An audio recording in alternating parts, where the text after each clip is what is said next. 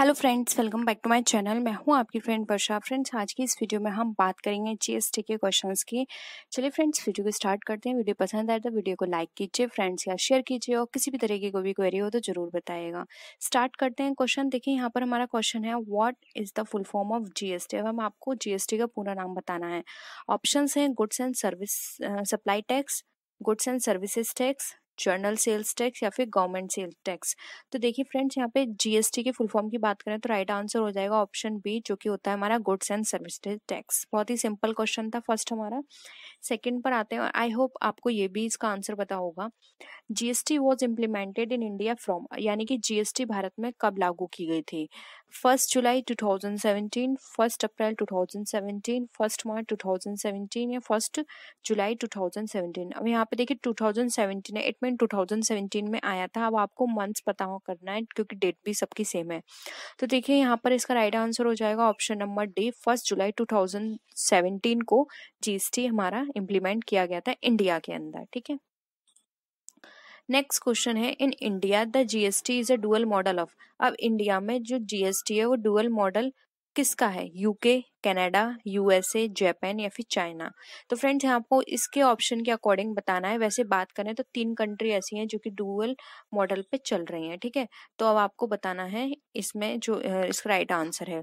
तो देखिए, यहाँ पे ऑप्शन बी राइट आंसर हो जाएगा कनाडा जबकि देखिए फ्रेंड्स ब्राज़ील जो है, वो भी जीएसटी के डुअल कॉन्सेप्ट पे चलती है, ठीक है?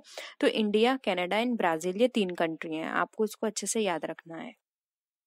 नेक्स्ट क्वेश्चन पे आते हैं।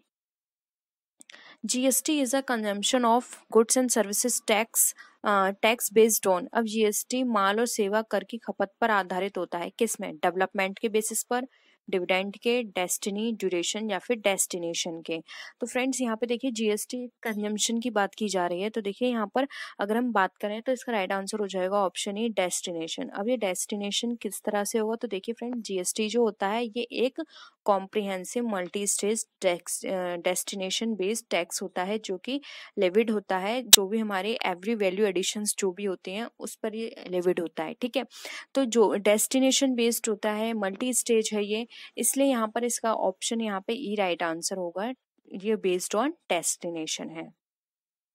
नेक्स्ट क्वेश्चन पे आते हैं।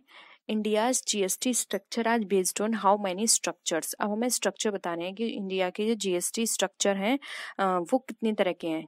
छ चार, तीन या पाँच? तो देखिए, यहाँ पर राइट आंसर हो जाएगा ऑप्शन नंबर बी जो कि है हमारा फोर चार स्ट्रक्चर पर बेस्ड है। अब आपको ये बताना है, वो चार स्ट्रक्चर कौन कौन से हैं? तो देखिए, आप नोट कर लीजिए फ्रेंड्स देखिए फ़र्स्ट है यहाँ पर हमारा, आप फ़र्स्ट नोट कर लीजिए ज़ीरो रेट, ठीक है? आ ज़ीरो रेट। सेकंड है हमारा आ लोअर रेट, ठीक है? थर्ड, आइए, थर्ड है हमारा आ स्टैंडर्ड रेट, ठीक है? थर्ड है स्टैंडर्ड रेट। फोर्थ है हमारा यहाँ पे आ हायर रेट, ठीक है? ये चार तरह की हैं, चार तरह के स्ट्रक्चर होते हैं। Zero rate, lower rate, standard rate और हायर रेट। ये चारों आप यहाँ पर अपने नोटबुक में लिख लीजिएगा, अच्छे से। हो सकता है कि ये इसमें से आप भी कोई क्वेश्चन बन जाए कि वो कौन कौन सी हैं, ठीक है? नेक्स्ट आते हैं। अब देखिए, यहाँ पर पूछा है, the maximum rate of C G S T is? अब सी जी एस टी की जो अधिकतम रेट है, वो कौन सी है? ये पूछा गया है। अट्ठाईस बारह, अठारह या फिर बीस। तो देखिए, अगर यहाँ पे बात करें हम सी जी एस टी की, अब आपको फ्रेंड्स सबसे पहले ये पता होना चाहिए सी जी एस टी क्या होता है। तो सी जी एस टी होता है central goods and services tax ठीक है? सेंट्रल सेंटर कर लीजिए या फिर central goods and services tax ठीक है? अब देखिए, यहाँ पर इसकी रेट पूछी गई तो फ्रेंड्स यहाँ पे ऑप्शन से हमारे चारों ही गलत हैं, क्योंकि यहाँ पे सही ऑप्शन नहीं गिवन है, सही ऑप्शन है हमारा फोर्टी परसेंट मैक्सिमम रेट है फोर्टी परसेंट की सीजीएसटी के लिए, ठीक है? तो आप इसे नोट कर लीजिए फोर्टी परसेंट। नेक्स्ट क्वेश्चन पे आते हैं। अब यहाँ पे हमें पूछा गया है, the maximum rate of S G S T U T G S T is? अब फ्रेंड, सबसे पहले इनकी फुल फॉर्म आपको पता होनी चाहिए एस जी एस टी की क्या होती है। तो देखिए एस जी एस टी की फुल फॉर्म यहाँ पर होती है state goods and services tax. ठीक है, क्या हो गया? State goods and services tax और देखिए, यहाँ पर एक और आपको फुल फॉर्म दे रखी होगी यूटीजीएसटी तो देखिए यूटीजीएसटी जो है, इसकी फुल फॉर्म यहाँ पर होती है। यूटी का मतलब होता है यूनियन टेरिटरी, आप ये पूरा नाम लिख लीजिएगा union territory, goods and service tax, ठीक है? अब ये इन दोनों की फुल फॉर्म हो गई अब यहाँ पर मैक्सिमम रेट इनकी पूछी हुई है तो देखिए यहाँ पर अगर हम एस जी की रेट की बात करें तो यहाँ पर इसका जो राइट आंसर है वो है यहाँ पे ऑप्शन नंबर सी, जो कि है हमारा ट्वेंटी परसेंट ये ट्वेंटी परसेंट होती है, ठीक है? नेक्स्ट आते हैं फ्रेंड्स, यहाँ पे एक और चीज़ आप लिख सकते हैं, ये यू, ये तो सेंट्रल बेस्ड होते हैं, सेंट्रल में जितने भी गुड्स एंड सर्विसेज़ सेल किए जाते हैं, उन सब के बेसिस पे लगाई जाती है, लेकिन यू टी के होते हैं, इसके अंदर जो भी हमारी सप्लाई होती है अल्कोहलिक लिकर की, ठीक है ह्यूमन कंजम्पशन से रिलेटेड वो यूटीजीएसटी में शामिल नहीं की जाती है, ठीक है, सिर्फ़ इतना ही डिफरेंस है, वो यूटीजीएसटी में शामिल नहीं की जाती है। नेक्स्ट आते हैं। अब यहाँ पर हमें कोड्स पूछे हुए हैं। Which code is use to classify goods and services under GST यानी कि जीएसटी के अंदर गुड्स एंड सर्विसेज़ को जब क्लासीफाई करते हैं तो कौन सा कोड यूज़ करते हैं? आपको ये बताना है। S H S N code S A C और H S N G S T और एस ए सी तो देखिए फ्रेंड्स यहाँ पर आपको पहले सारे कोड के बारे में मैं आपको बता देती हूँ। देखिए यहाँ पे एस ए सी कोड दे रखा है। इसकी फुल फॉर्म होती है सर्विसिंग अकाउंटिंग कोड कई जगह आपको सर्विस मिलेगी तो आप देख लीजिएगा। सर्विसिंग अकाउंटिंग कोड, ये इसकी फुल फॉर्म है। अब देखिए, ये एस एस सी है, यहाँ भी एस सी की यही फुल फॉर्म है। अब आप एच एस एन की देख लीजिए तो देखिए, एच एस एन की फुल फॉर्म होती है। हार्मोनाइज्ड सिस्टम नोमैन क्लेचर मैं ऊपर लिख देती हूँ नोमैन क्लेचर की spelling nomen nomenclature C L A T U R E ठीक है? हार्मोनाइज सिस्टम नोमैन ये एच एस एन की फुल फॉर्म है। जीएसटी की तो आपको पता ही है गुड्स एंड सर्विसेज़ टैक्स ठीक है?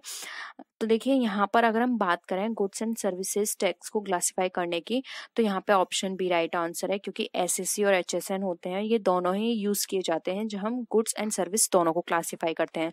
जबकि एस एस सी सिर्फ़ सर्विस से रिलेटेड होता है। गुड्स से रिलेटेड नहीं होता है लेकिन यहाँ हम गुड्स एंड सर्विस दोनों की बात करें, इसलिए ये दोनों कोड आएँगे हमारे। आई होप ये आपको क्लियर होगा। एक और चीज़ आप मैं नोट कर लीजिए अपनी नोटबुक में, ये एच एस एन जो होता है, एच एस एन, इसके अंदर जो कोड होते हैं, वो हमारे डिजिट्स में गिवन होते हैं, और ये डिजिट्स में कैसे होते हैं? ये टू डिजिट होते हैं, फोर डिजिट होते हैं, सिक्स डिजिट में होते हैं और एट डिजिट में। ये इतने डिजिट में ये वाले कोड मेंशन किए जाते हैं, चार, दो, चार छ आठ के डिजिट में ये कोड होते हैं, ठीक है? तो ये था हमारा। आई होप ये कॉन्सेप्ट आपको क्लियर हुआ होगा। नेक्स्ट आते हैं। अब what does I in the I G S T stand for अब आई जी एस टी में आई का क्या मतलब है, आपको ये बताना है। तो देखिए यहाँ पर आई जी एस टी में ऑप्शन है इंटरनल इंटीग्रेटेड इंटरनल या फिर यहाँ पर इंट्रा तो देखिए यहाँ पर जो राइट आंसर होगा, वो होगा ऑप्शन नंबर बी जो कि हमारा इंटीग्रेटेड इसकी फुल फॉर्म होती है integrated goods and service tax ठीक है? अब देखिए यहाँ पे जो इंटीग्रेटेड जो होते हैं, यहाँ पर ये बात की गई है कि आईजीएसटी जो चार्ज किए जाते हैं लेविड होते हैं, वो सेंट्रल के द्वारा होते हैं और ये इंटर स्टेट सप्लाई जो होती है गुड्स एंड सर्विसेज़ की इंटर स्टेट में। उन पर ये चार्ज किया जाता है, तब ये यूज़ होती है आईजीएसटी ठीक है? इंटर स्टेट में जो भी गुड्स एंड सर्विसेज़ होंगे ट्रांजेक्शन उसके बेसिस पर आईजीएसटी को क्या किया जाता है? चार्ज किया जाता है। तो आई होप आपको ये भी क्लियर हुआ होगा। नेक्स्ट क्वेश्चन पे आते हैं। देखिए, अब हमारा यहाँ पे, जो टॉपिक था गुड्स एंड सर्विसेज़ टैक्स का, वो यहाँ पे हमारा खत्म हो गया। अब यहाँ पे थोड़े बिल के क्वेश्चन हैं, वो हम कर लेते हैं। What is the what is the bill receivable account अब बिल रिसीवेबल अकाउंट किस तरह का होता है? Personal account machinery account real account या फिर नॉमिनल अकाउंट तो देखिए जो हमारे बिल रिसीवेबल अकाउंट होता है, वो हमारा रियल अकाउंट होता है। तो ऑप्शन से यहाँ पे हमारा क्या है? राइट right आंसर है। नेक्स्ट आते हैं। अब बिल ऑफ़ एक्सचेंज इंक्लूड्स अब बिल ऑफ़ एक्सचेंज में क्या क्या इंक्लूड किया जाता है? तो देखिए फ्रेंड बिल ऑफ़ एक्सचेंज की बात करें तो इसमें अगर हम बात करें तो देखिए इसमें ऑर्डर टू पे है रिक्वेस्ट टू पे है प्रॉमिस टू पे है और ऑल ऑफ़ दी है तो फ्रेंड्स इसमें बिल ऑफ़ एक्सचेंज में किसी भी तरह की कोई रिक्वेस्ट नहीं होती प्रॉमिस होती है हमारी प्रॉमिसरी नोट में और ऑप्शन इसलिए हमारा फोर्थ भी कट जाता है। आंसर आएगा ऑप्शन है order to pay bill of exchange में ऑर्डर किया जाता है प्रॉमिसरी नोट में प्रॉमिस टू पे किया जाता है, ठीक है? तो ऑप्शन यहाँ पे ए हमारा राइट right आंसर है। नेक्स्ट क्वेश्चन पे आते हैं। Which bill is drawn and accepted in the same country अब इसमें से कौन सा बिल है जो कि ड्रॉ और एक्सेप्ट किया जाता है सेम कंट्री में? एक ही देश में कौन सा बिल तैयार और स्वीकार किया जाता है? तो देखिए, यहाँ पर हम बात करें तो इसका राइट आंसर हो जाएगा ऑप्शन सी इंग्लैंड नाम से ही पता चल रहा है इंग्लैंड ठीक है? और जो सेम कंट्री में ना होके डिफरेंट कंट्री में होंगे तो वहाँ पे फॉरेन बिल हो जाएगा ठीक है? अब एक और चीज़ याद रख लीजिए यहाँ पे ट्रेड बिल है। तो ट्रेड बिल जो होता है वो ट्रेडिंग जब एक पर्सन से दूसरे पर्सन यानी कि दो पार्टीज़ के बीच में कोई भी ट्रे, ट्रेडिंग ट्रांजेक्शन होंगे वहाँ ट्रेडिंग बिल होगा। और जो फॉरेन बिल होता है वो अदर कंट्रीज़ के साथ जब हम डीलिंग करते हैं तब होता है। और एकोमोडेशन बिल एक बिजनेसमैन, दूसरे बिजनेसमैन की हेल्प करने के पर्पज से जब वो उसको बिल देता है तो एकोमोडेशन बिल कहलाता है, ठीक है? तो ये हो गए हमारे इनकी मीनिंग नेक्स्ट आते हैं who draws a bill of exchange अब बिल ऑफ़ एक्सचेंज जो है, वो कौन ड्रॉ करता है या लिखता है? क्रेडिटर डेटा होल्डर या फिर नन ऑफ़ द अबव तो यहाँ पर बात करें तो जो होल्डर होता है, बिल का होल्डर है, वो ड्रॉ करेगा, ठीक है?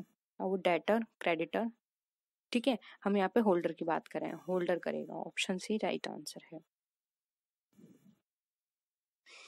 नेक्स्ट है what is the person known as who draws a bill of exchange अब उस पर्सन को क्या कहते हैं जो ड्रॉ करता है बिल को? ड्रॉर पे ड्रॉई या फिर नन ऑफ़ दी अबव तो देखिए, जो बिल को ड्रॉ करता है, उसकी हम बात करें तो यहाँ पे उसको बोला जाता है ड्रॉअर और जिसको बिल दिया जाता है, वो कहलाता है ड्रॉई और जो उसका पेमेंट लेता है, उसको पेमेंट करता है, वो बोलते हैं पे। तो देखिए यहाँ पे ऑप्शन ए राइट आंसर है ड्रॉअर, जो ड्रॉ करता है, यानी कि बिल को लिखता है, वो ड्रॉअर कहलाता है।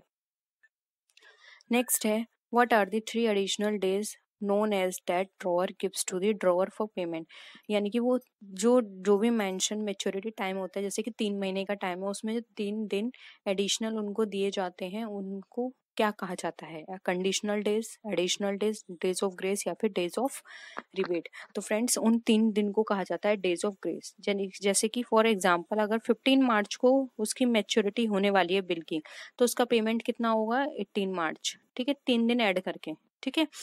तो यहाँ पर उनको बोला जाता है days of grace option next है what kind of acceptance is known as the known as when the bill is accepted without any condition यानी कि बिना किसी शर्त के बिल कब स्वीकार किया जाता है? क्वालिफाइड एक्सेप्टेंस में कंडीशनल ब्लैंक या फिर जर्नल में। तो देखिए यहाँ पर बात की जा रही है बिना किसी कंडीशन के आ, किया जा रहा है। तो देखिए यहाँ पे क्वालिफाइड और कंडीशनल दोनों एक ही को कहा जाता है यानी कि हम ऐसे बोल सकते हैं qualified acceptance is also known as और रेफर्ड एज कंडीशनल एक्सेप्टेंस तो दोनों का मतलब क्या होता है? एक ही है एक ही नाम से दोनों को जाना जाता है। अब इन दोनों में क्या होता है, कुछ कंडीशंस होती हैं। यानी कि यहाँ तो बात की जा रही है विदाउट कंडीशन लेकिन इन दोनों में ही कंडीशन होते हैं कि जैसे कि कितना सम किस मोड से कहाँ पे पेमेंट करना है, ये सारी चीज़ें कॉन्ट्रैक्ट में मेंशन होते हैं तो ए ऑप्शन कट गया, बी कट गया। ब्लैंक एक्सेप्टेंस होती है, ये एक्सेप्टेंस ब्लैंक पेपर पे दी जाती है, यानी कि आपका बिल ड्रॉ नहीं हुआ है, उसी से पहले आपने एक ब्लैंक पेपर पे पहले से एक्सेप्टेंस दे दिया है, ठीक है? वो ब्लैक एक्सेप्टेंस ब्लैंक एक्सेप्टेंस होती है। तो यहाँ पे विदाउट कंडीशन पूछा गया तो राइट आंसर हो जाएगा आपका ऑप्शन डी, जो कि हम आपका जर्नल एक्सेप्टेंस, बिना किसी एक्सेप्टेंस के दे रहे हैं बिल तो वो जर्नल एक्सेप्टेंस है। नेक्स्ट आते हैं। When the bill is noted from the notary public, it is known यानी कि जब नोटेड होता है नोटरी पब्लिक में तो उसको क्या कहा जाता है? नोटिंग डिस्काउंटिंग एक्सेप्टिंग या फिर none of the above तो फ्रेंड्स उसको कहा जाता है नोटिंग और इसमें जो भी एक्सपेंसेस लगते हैं, उसको बोला जाता है नोटिंग चार्जेस यानी कि इस पूरी प्रोसीजर में जितने जो भी एक्सपेंसेस लगते हैं, उस एक्सपेंसेस को बोला जाता है कि नोटिंग चार्जेस लगे हैं, ठीक है? तो ऑप्शन ए यहाँ पे हमारा राइट आंसर है। नेक्स्ट क्वेश्चन है what is retiring a bill under rebate means यानी कि रिबेट के अंदर रिटायरिंग छूट के साधनों के तहत किसी विधेयक को क्या कहा जाता है? यानी कि making a payment of the bill before the due date due date से पहले पेमेंट हो जाएगा। डिसोनिंग ऑफ़ अ बिल यानी कि बिल का डिसऑनर होना making a payment of the bill after the due date यानी ड्यू डेट के बाद पेमेंट हुआ है या फिर ऑल ऑफ़ द तो फ्रेंड्स जब retiring a bill under debate होता है तो इसका मतलब यहाँ पर अगर हम बात करें तो देखिए यहाँ पर राइट आंसर हो जाएगा ऑप्शन नंबर रिबेट पर देते हैं कोई भी बिल तो उसको कहा जाता है कि ड्यू डेट से पहले उसका पेमेंट किया गया है। तो ऑप्शन ए यहाँ पर हमारा क्या हो जाएगा? हमारा यहाँ पे राइट आंसर हो the credit balance in the bank account is, अब जो क्रेडिट बैलेंस है, जो बैंक अकाउंट में, वो हमारा क्या शो करता है? ऑप्शन है an assets and liability and expense और कंटेंजेंट लाइबिलिटी तो देखिए, यहाँ पर अगर हम बात करें क्रेडिट बैलेंस की, जो कि हमारा बैंक अकाउंट के अंदर शो करता है तो ये शो करता है हमारी लाइबिलिटी को। जबकि अगर हम डेबिट बैलेंस की बात करें तो हमारे असेट्स को शो करता है। इसलिए यहाँ पर ऑप्शन जो है हमारा टू वो हमारा राइट आंसर होगा।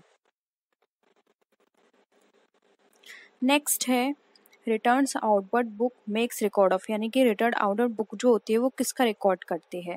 तो देखिए ऑप्शन है goods return to the suppliers यानी सप्लायर्स को गुड रिटर्न किया गुड्स रिटर्न टू कस्टमर यानी कस्टमर को गुड रिटर्न किया उसके बाद है यहाँ पर goods return to proprietor proprietor को गुड्स रिटर्न किया, फिर है गुड्स रिटर्न टू नेबर्स यानी कि नेबर्स को गुड रिटर्न किया। तो देखिए यहाँ पर इसका राइट आंसर होगा। तो ये है हमारे ऑप्शंस तो देखिए यहाँ पर अगर हम बात करें गुड्स आउटपुट बुक की तो देखिए ये यहाँ पे हमें बताता है कि जो हमारे सप्लायर्स हैं, उनको हमने जो माल है उसको वापस किया। Goods return to suppliers return outward book ही हमें शो करता है। इसलिए ऑप्शन है यहाँ पे हमारा राइट आंसर है। नेक्स्ट क्वेश्चन पे आते हैं। नेक्स्ट क्वेश्चन है हमारा cash book prepared on imprest system in अब जो कैश बुक है वो इम्प्रेस सिस्टम में दिखाई जाती है तो वो किस तरह की होती है? Two column cash book cash book की तरह प्रिटी कैश बुक या फिर परचेज बुक तो देखिए, यहाँ पर अगर हम बात करें तो जो इम्प्रेस सिस्टम के अंदर हम अपनी कैश बुक प्रिपेयर करते हैं, वो हमारी प्रिटी कैश बुक कहलाती है। Friends mainly petty cash book वो कैश बुक होती है, जिसके अंदर हम जो छोटे छोटे हमारे जो खर्चे होते हैं, हम उसको इंक्लूड करते हैं, फिर बाद में जब हम उसको, उससे रिलेटेड अकाउंट में पोस्टिंग करते हैं तो डायरेक्ट एक अगर हम एक आइटम के रूप में उन सबको इंक्लूड कर लेते हैं। फॉर एग्ज़ाम्पल जैसे कि हमने स्टेशनरी में खरीदे पेन पेंसिल्स इरेज़र स्केल ये सारी चीज़ें खरीदी। तो प्रिटी कैश बुक में तो ये अलग अलग मेंशन कर दी जाएगी, लेकिन जब हम इसकी पोस्टिंग करेंगे जर्नल में या फिर अदर इससे रिलेटेड लेजर में तो वहाँ पर हम पोस्टिंग करेंगे एज अ स्टेशनरी वहाँ पर ये अलग अलग आइटम शो नहीं किए जाएँगे, वहाँ पर एज अ स्टेशनरी शो किया जाएगा।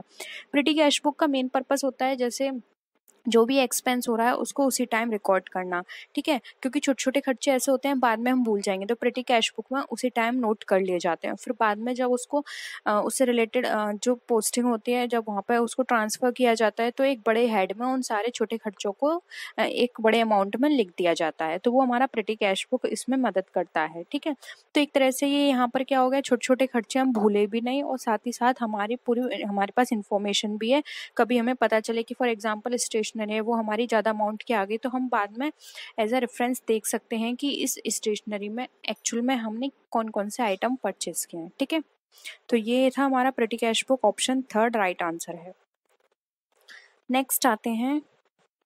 The statement send along with purchase return is अब खरीद रिटर्न के साथ भेजा गया बयान क्या कहलाता है? Credit note bills payable book debit note या फिर परचेस रिटर्न बुक तो देखिए, यहाँ पर बात की जा रही है एक स्टेटमेंट की जो कि हम परचेस रिटर्न करते हैं तो उसके साथ हमें एक नोट भेजना होता है, उसको हम क्या बोलते हैं? तो देखिए, यहाँ पर इसका राइट आंसर होगा ऑप्शन नंबर ए जो कि हमारा है क्रेडिट नोट वो क्रेडिट नोट कहलाता है क्योंकि उस पर पूरा मेंशन होता है कि हमने इतने रुपए का माल सेंड किया है, ठीक है? परचेस रिटर्न किया है.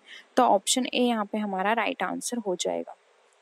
बिल पेबल बुक में, जो भी हम बिल पे करते हैं, उसके बारे में मेंशन होता है तो ये नहीं होगा। डेबिट नोट हमारा जब भी भी हम किसी भी तरह का कोई भी सेल्स रिटर्न चीज़ होती है, तब हम लिखते हैं और परचेस रिटर्न बुक हमारी परचेस रिटर्न से रिलेटेड होता है, लेकिन वो कोई स्टेटमेंट नहीं होता। स्टेटमेंट में सिर्फ़ क्रेडिट नोट आएगा, ठीक है?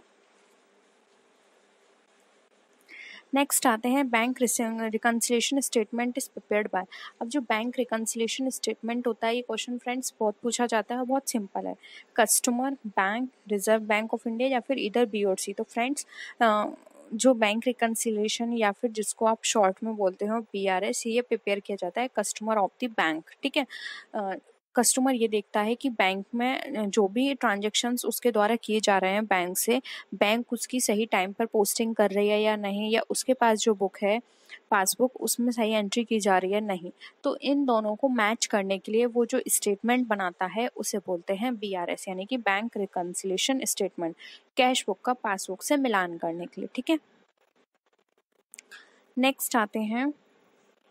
फ्रेंड से थोड़ा बड़ा क्वेश्चन है। तो मैं इसको फ़ोन साइड छोटा कर रही हूँ तो आई होप आपको क्लियर होगा या फिर आप दो बार देख लीजिए। पहले आप क्वेश्चन पढ़ लीजिए। देखिए क्वेश्चन है हमारा।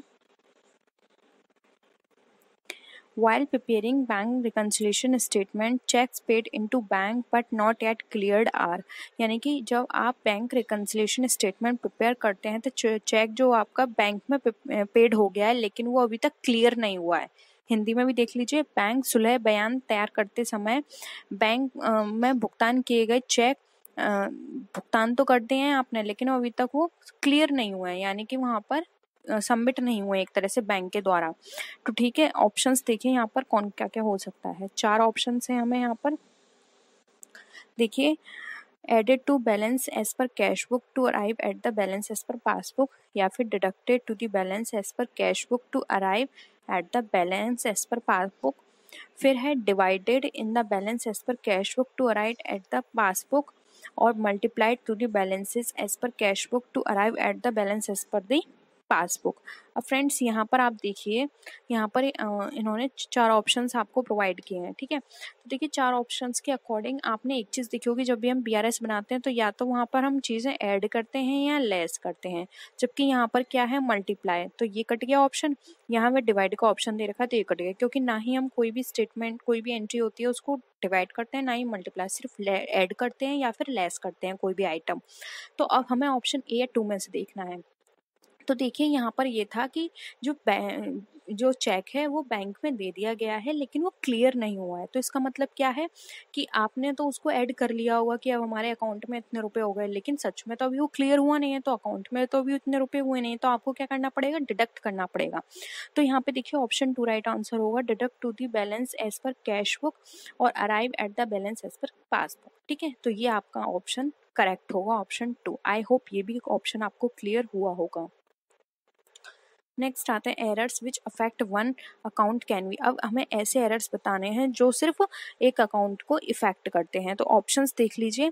Errors of omission error of principle error of posting या फिर एरर ऑफ़ कमीशन तो देखिए यहाँ पर ये बात कर रहे हैं एक अकाउंट को इफ़ेक्ट करे। तो देखिए फ्रेंड्स अगर एरर ऑफ़ ओमिशन होगा तो ये एक अकाउंट से रिलेटेड नहीं है। प्रिंसिपल डबल अकाउंट से रिलेटेड होता है कमीशन भी नहीं होगा। एरर ऑफ़ पोस्टिंग हमारे एक अकाउंट से रिलेटेड हो सकता है कि हमने एक अकाउंट में पोस्टिंग नहीं की है, ठीक है? तो यहाँ पे ऑप्शन थर्ड जो है वो इसका राइट right आंसर हो जाएगा।